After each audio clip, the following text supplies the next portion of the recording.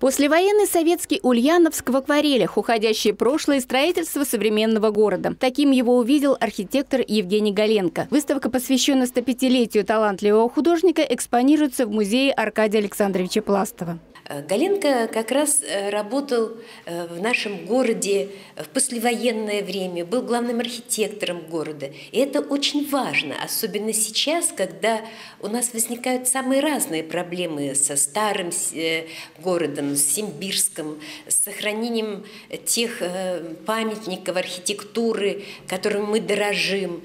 И вот он был именно таким человеком – который страстно следил за э, вот этой стороной жизни города. Евгений Иванович Галенко уделял особое внимание вопросам сохранения объектов культурного наследия. В 40-х, 50-х годах даже говорил о бессмысленном сносе храмов в Симбирском и утрате в связи с этим силуэта города. В дальнейшем Галенко постоянно подчеркивал необходимость сохранения исторической застройки, особенно в центре города. Верным попутчиком в основной работе Евгения Ивановича был маленький акварельный этюдник. И теперь мы можем видеть, видеть в его этюдах историческую часть города и как Ульяновск преображался. Многие такие работы для музейной выставки передала дочь художника Ольга Романовская. Ольга Евгеньевна рассказывала нам, э, что с детства папа каждые выходные отправлялся со своими любимыми дочерьми э, здесь, в Ульяновске, в Парк Победы.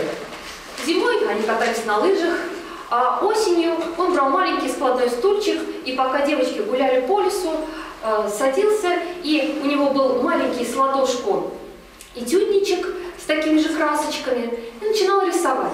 На выставке представлены акварели с видами не только Старого Симбирска, Ульяновска, его окрестностей и Волги, но и пейзажи разных уголков страны – Подмосковья, Ярославля, Кавказа, Крыма. В оцифрованном виде демонстрируются работы из детского и фронтового альбомов художника. Выставка будет экспонироваться до 15 июня. Ирина Антонова, Герман Баранов, Улправда ТВ.